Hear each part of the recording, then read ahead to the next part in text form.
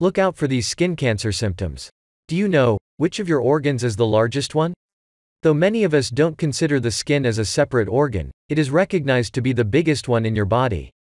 It generally consists of two main parts the deep layer called derm and the outer stratum, also known as epidermis.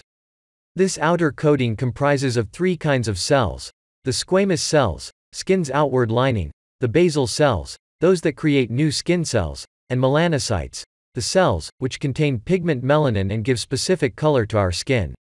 Skin cancer is the leading type of malignancy among Americans. In the majority of cases, skin cancer tends to grow slowly and is unlikely to spread to other body areas, with exception of melanoma.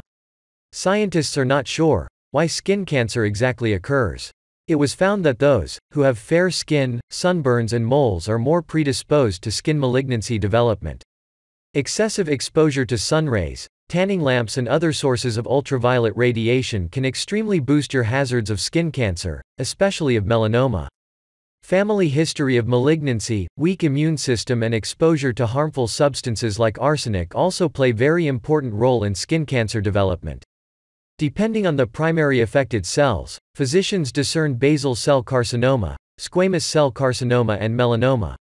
Family history of malignancy, weak immune system and exposure to harmful substances like arsenic also play very important role in skin cancer development. Depending on the primary affected cells, physicians discern basal cell carcinoma, squamous cell carcinoma and melanoma.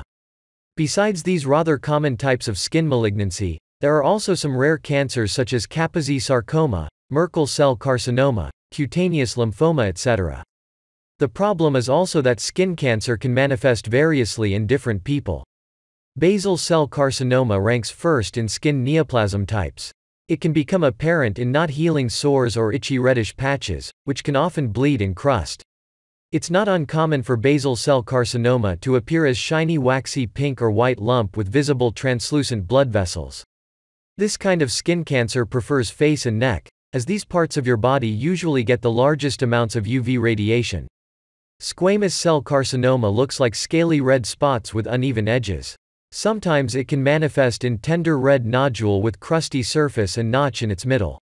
It's also more likely to affect face, ears and arms, which are often exposed to sun rays. Melanoma is the least common, but the most hazardous type of skin cancer. In women it usually starts on the lower extremities. Melanoma can also appear on other body areas, including face, neck, chest and back. Melanoma is frequently confused with benign moles. Use this ABCDE method to detect this dangerous skin cancer on early stages. Asymmetry. Cancerous spots have asymmetrical sides, which don't look similar. Border.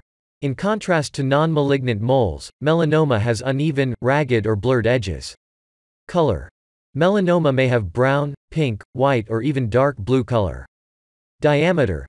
Spots, which are larger than 6 mm in diameter, should be examined by medical specialist, as they often consist of malignant cells.